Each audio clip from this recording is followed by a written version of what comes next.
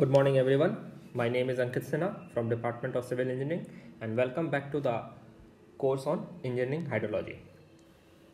Currently, we are going through our second module, which is precipitation. In the previous lectures on this particular module, we have discussed about mechanism of precipitation, where we talked about various terms such as dew point, humidity, etc. Then we talked about various forms of precipitation, which were rainfall, snowfall, hail, and other forms. Then we talked about various types of precipitation, such as orographic precipitation, frontal precipitation, cyclonic precipitation. Then we discussed about various rainfall seasons present in India. Then we talked about how to measure the rainfall data with the help of rain gauges, where we talked about recording and non-recording rain gauges.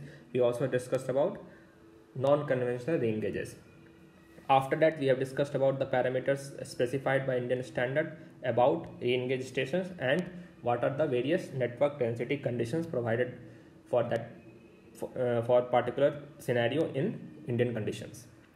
Now we are going to talk about what are the optimum number of rain gauges required for a particular location or for a given accuracy. So so, आज का हमारा discussion का topic होगा what is the optimum number of rain gauge required for a given scenario ठीक है? मतलब कि किसी भी रेन गेज स्टेशन की ऑप्टिमम ऑप्टिमम संख्या क्या होनी चाहिए? ठीक है? तो रेन गेज मेज़रमेंट के रेनफॉल मेज़रमेंट के लेके जब भी हम लोग डिस्कस करते हैं तो सबसे क्रिटिकल पॉइंट होता है, ये अंडरस्टैंड करना कि हम किसी भी गिवन एरिया का एक्यूरेटली रेनफॉल कभी भी मेजर नहीं कर सकते हैं। क्यों? क्योंकि ये एरिया का मैग्नीट्यूड बहुत ज़्यादा होता है let's amount of hundred kilometre square ठीक है?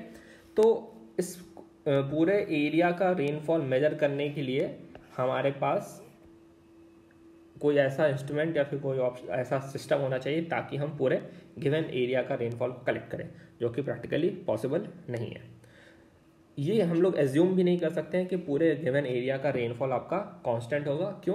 क्योंकि ये एक नेचुरल फेनोमेना है और नेचुरल फेनोमेना होने के कारण हर जगह पे आपका रेनफॉल का मैग्नीट्यूड अलग अलग होगा। ठीक है? तो हम इसको एवरेज आउट भी आसानी से नहीं कर सकते। ठीक है? तो इन सब काम को सिंप्लीफाई करने के लिए एक सिस्टम आया कि आप क्यों ना इसमें से कुछ सैंपल्स कलेक्ट कर लीजिए। ठीक है? आप गिवन एरिया में कहीं कहीं आप रेन गेज स्टेशन लगाइए, आप गिवन नॉर्म्स को फॉलो करते हुए। ठीक है? और रेन गेज स्टेशन एक सैंपल की तरह एक्ट करेंगे और इन सब का डेटा आप कलेक्ट कर लीजिए और इस डेटा को इंटरप्रेट करेंगे अलग अलग तरीके से और वहाँ पे हम लोग बता पाएँगे कि आप गिवन एरिया में आपका एवरेज रेनफॉल कितना होगा, ठीक है? तो ये सिस्टम हुआ आपके सैंपलिंग का, ठीक है? जिससे हम लोग एक गिवन एरिया या गिवन कैचमेंट एरिया में आप रेनफॉल को एस्टिमेट कर सकते हैं, ठीक है? तो ये इसमें एस्टिमेशन के अलग अलग तरीके हैं जो आप सिंपली मीन कर सकते हैं या फिर आप एरिया को फैक्टर लिन करते हुए आप अलग अलग कैलकुलेशन कर सकते हैं। ये सारी चीज़ें आएँगी, उसको हम लोग बाद में डिस्कस करेंगे। अभी हमारा ऑब्जेक्टिव रहेगा, हमें ये पता करना कि हमारी जो सैम्पलिंग हो रही है, वो सफिशेंट है या नहीं है। इसका मतलब अगर आपको हायर एक्यूरेसी चाहिए, जब भी आप किसी भी चीज़ को सैम्पलिंग के थ्रू मेजर करने की कोशिश करेंगे तो वहाँ पे कुछ चांसेस ऑफ़ एरर होता है। ठीक है? तो हायर एक्यूरेसी के लिए आप क्या करेंगे? आपके पास सैम्पलिंग नंबर ऑफ़ सैम्पल्स बढ़ाने पड़ेंगे। अगर आपको एरर कम करना है एक्यूरेसी बढ़ानी है एक्यूरेसी इंक्रीज करना होगा तो एरर कम होगा और नंबर ऑफ़ सैंपल्स बढ़ाने पड़ेंगे। ठीक है? तो एक तरह से इन्वर्सली प्रोपोर्शनल होगी accuracy accuracy is directly proportional to number of samples ठीक है? तो एक बार एक और चीज़ है, आपको एक्यूरेसी भी एक लिमिट तक ही चाहिए। 90 परसेंट नाइन्टी फाइव परसेंट के एक्यूरेट अगर आपके पास रिज़ल्ट है तो मोरलेस सफिशियंट है, क्योंकि जितने नंबर ऑफ़ सैंपल्स बढ़ाएँगे, आपका कॉस्ट रनिंग कॉस्ट हमेशा बढ़ता जाएगा। तो एक बैलेंस आपको ऑप्टिमाइज करना पड़ेगा कि आपके पास गिवन एरर जो कि आपके लिए एक्सेप्टेबल है, उसके लिए आपको कितना सैंपल कलेक्ट करना पड़ेगा। ठीक है? तो ये हमारा ऑब्जेक्टिव है इस पर्टिकुलर सिनेरियो में कि हमें एक गिवन परसेंटेज ऑफ़ एरर के लिए कितना सैंपल आपका रेनफॉल का डेटा कलेक्ट करना पड़ेगा गिवन कैचमेंट एरिया में। ठीक है? तो इसके लिए आपको सबसे इंपॉर्टेंट ध्यान रखना है कि आपको फॉर्मूला बताया गया है, अगर आप कंफर्टेबल हैं with error rate of E तो आपको गिवन एरिया के जो सैंपल्स होने चाहिए, वो आपको इस फॉर्मूले के थ्रू दिखाए जाएँगे। The number of samples should be equal to C V by error का स्क्वायर ठीक है? तो अब हम लोग देखेंगे सीवी क्या होता है। सीवी डिफाइन किया जाता है आपका कोफिशियंट ऑफ़ वेरिएशन जिसको लिखते हैं one hundred into sigma square by P error चूँकि परसेंटेज में होता है एरर दस परसेंट पाँच परसेंट इस हिसाब से लोग बात करेंगे तो इसलिए हम लोग सीवी में ही हंड्रेड को मल्टीप्लाई कर देते हैं। ताकि आपको एक यूनिफॉर्म फॉर्मूला आ जाए, ठीक है? अब यहाँ पे आता है सिग्मा सिग्मा कैसे निकालेंगे? तो किसी भी सैंपल का हमको, आपको स्टैंडर्ड डेविएशन पता करना पड़ेगा, ठीक है? स्टैंडर्ड डेविएशन करने के लिए सबसे पहले आपको क्या करना पड़ेगा आपको? मीन पता करना पड़ेगा, किसी भी सैंपल का निकालने के लिए। स्टैंडर्ड डेविएशन मीन पता कर लेंगे आप। मीन पता करने के बाद आप स्टैंडर्ड डेविएशन निकाल सकते हैं।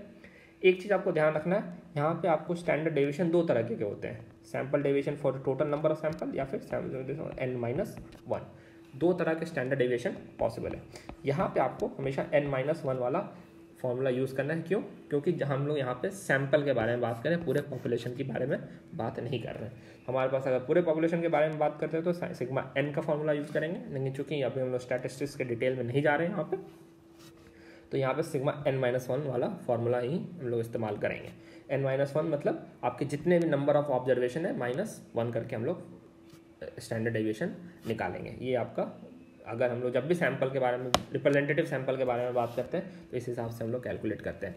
तो स्टैंडर्ड डेविएशन निकालेंगे हम तो कैसे लिखेंगे? Sigma N minus one will be equal to what summation of P I minus average precipitation इन सबका स्क्वायर करके summation divide by suppose N minus one आपके पास total number of samples N है। उसका अंडर रूट ये हो गया आपका standard aviation sigma आ जाएगा तो आप कोफिशन ऑफ़ वेरिएशन निकाल सकते हैं कोफिशन ऑफ़ वेरिएशन निकाल जाएगा तो आपके पास optimum number of rain gauges given area में आ जाएँगे, ठीक है? तो इसका मतलब अगर आपको लेट से दस परसेंट या फिर पाँच परसेंट एक्यूरेसी के हिसाब से काम करना है। पाँच परसेंट एक्यूरेसी के हिसाब से करना है तो आपको उसके हिसाब से गिवन सैंपल का सबसे पहले कोफिशियंट ऑफ़ वेरिएशन निकालना पड़ेगा। कोफिशेंट ऑफ़ वेरिएशन आ गया और पाँच परसेंट का आपका एरर रेट आ गया तो आप नंबर ऑफ़ रेन गेजेस बता सकते हैं कि आपके पास कितने होंगे। आपको देख रहे हैं, जैसे जैसे आपका एरर रेट कम होते जाएगा, वैसे वैसे नंबर ऑफ़ रेन गेजेस आपके बढ़ते जाएँगे। अगर एरर रेट आपका एक परसेंट है, इसका मतलब एक्यूरेसी आपकी नाइन्टी नाइन परसेंट है। नाइन्टी नाइन परसेंट एक्यूरेसी के लिए आपका नंबर ऑफ़ रेन गेजेस ज़्यादा होंगे। तो उस हिसाब से आपके कॉस्ट भी बढ़ती जाएगी। तो अभी लेट से फाइव परसेंट के लिए आपके पास नंबर ऑफ़ रेन गेजेस का यहाँ पर कोई एक वैल्यू आ जाएगी। कोफिशियंट वेरिएशन निकालने के लिए सबसे पहले आपको एवरेज प्रेसिपिटेशन निकालना पड़ेगा। एवरेज प्रेसिपिटेशन निकालने के बाद आप स्टैंडर्ड डेविएशन निकालेंगे। स्टैंडर्ड डेविएशन निकालने के कोफिशियंट ऑफ़ वेरिएशन निकालेंगे और उसके बाद ऑप्टिमम नंबर ऑफ़ रेनगेज निकाल सकते हैं। लेट्स से यहाँ पे कैलकुलेशन करने के बाद आपके पास optimum number of rain gauge seventeen आया। ठीक है? तो और आपने ऑलरेडी इंस्टॉल करके रखे हुए फिफ्टीन तो यहाँ पे आप देख रहे हैं ऑप्टिमम नंबर की रिक्वायरमेंट सेवनटीन है। आपके पास सिर्फ़ फिफ्टीन है। तो आप क्या करेंगे? एडिशनली दो रेनगेज और ऐड कर सकते हैं। ठीक है? मान लीजिए यहाँ से आपको कैलकुलेशन करने के बाद आपका डेटा आ रहा है ट्वेल्व और आपके पास total number of rain gauge fifteen है। तो आपको कोई भी एडिशनली रिक्वायरमेंट ज़रूरत नहीं है रेनगेजेस ऐड करने के लिए। ठीक है? तो एक बार फिर से समराइज करने के लिए हम आपको एक बार कंसेप्ट बता देते हैं। रेन गेज के थ्रू हम लोग एक गिवन सैंपल का रेनफॉल मेजर करेंगे। ठीक है? हम कभी भी टोटल एरिया का रेनफॉल मेजर एक्यूरेटली नहीं कर सकते हैं क्योंकि रेनफॉल आपका एक नेचुरल प्रोसेस है और आपके पास 100 परसेंट एक्यूरेसी के साथ कोई भी डेटा कलेक्ट नहीं हो पाएगा। क्यों? क्योंकि आपके पास पूरे 100 किलोमीटर लेट से आपका टोटल एरिया 100 किलोमीटर स्क्वायर का है तो आपको टोटल पूरे 100 किलोमीटर स्क्वायर में जितना रेनफॉल हुआ, सारा का सारा कलेक्ट करना पड़ेगा मेजर करना पड़ेगा। उसके बाद आप कैलकुलेट कर सकते हैं, जो कि पॉसिबल नहीं है। तो आप क्या करते हैं? सैम्पलिंग करते हैं। कुछ कुछ रेंजेज लगा दिए। गिवन आपके पास जो इंडियन स्टैंडर्ड ने डायरेक्टिव दिया था, अगर फ्लैट एंड प्लेन कैचमेंट है तो आपका हर two hundred five hundred twenty kilometre square पे एक रेंगेज होना चाहिए। इस हिसाब से आपका जो भी डायरेक्टिव था, उसको इस्तेमाल करते हुए आपने कुछ रेनगेजेस लगाए और ये एक सैंपल की तरह काम करेंगे।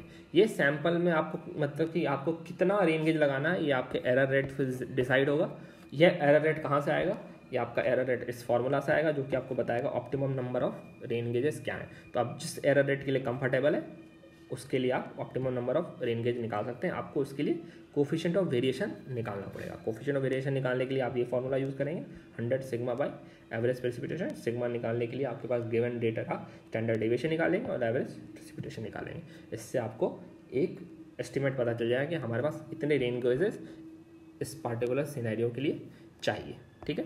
अगर आपके पास number of rain gauge required seventeen आ रहा है और आपके पास फिफ्टीन का डेटा पहले से था तो आप एडिशनली दो रेन गेज और डाल करेंगे ऐड कर देंगे। अगर आपके पास total number of rain gauge required twelve आ रहा है और आपके पास ऑलरेडी सेवनटीन रेन गेज है तो आपके पास कोई भी एडिशनल रेन गेज प्रोवाइड करने की ज़रूरत नहीं है, अगर आपको सेम एक्यूरेसी मेंटेन करना है। ठीक है? अब हम लोग डिस्कस करेंगे इस पार्टिकुलर टॉपिक से रिलेटेड एक न्यूमेरिकल प्रॉब्लम तहाँ पे आपको पूरा क्लैरिटी अच्छे से हो जाए।